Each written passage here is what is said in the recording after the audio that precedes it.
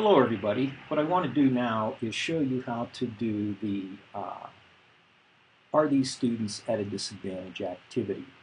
You see that I have the SPSS spreadsheet already filled out. But how did I get the data in and so it's entered correctly? First I'm going to go to Variable View and you notice that I entered school for the name and this is a numeric variable. And I'm going to label the values for school. I'm going to call 1, and I'm going to define that as elite, and I'll add. And 2, I will define as south side. And then I will add that. And then click on OK. And I'm going to define that as a nominal measure. So what that will do then is label all the schools that are a 1 as elite and all the schools that are a 2 as south side. Then I'll go back to variable view and you notice I have score entered in for the second variable, the second column, and it's a scale measurement. So it's interval level. And I don't need to put anything in the values label because the scores are not categories. They're not grouping data. So you can see that this person is a uh, student at elite school and they had a reading score of 67. This person, on the other hand, is in Southside School and they had a reading score of 60.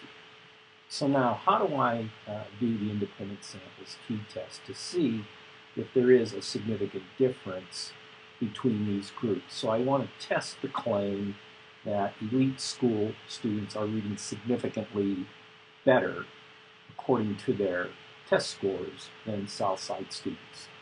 So I go to Analyze, Compare Means, and Independent Samples t-test. For the test variable, that's the variable, the interval level variable, the score school is the grouping variable. And I have to define that by using the numbers that I use to define each school. One is elite, two is south side. And I click on continue, and then I click on OK. And then I have my output. And you notice that you want to check to make sure there's 15 in each group. The mean for elite is 65.26. The mean for south side is 60.2. The standard deviation for elite is 8.12, and the standard deviation for south side is 6.04. You see they're not that far apart. In other words, one uh, standard deviation, one variance, if you will, is not five times the other. What we can do now is look at the independent samples t-test results. This particular portion of the output is the Levene's test for equality of variances.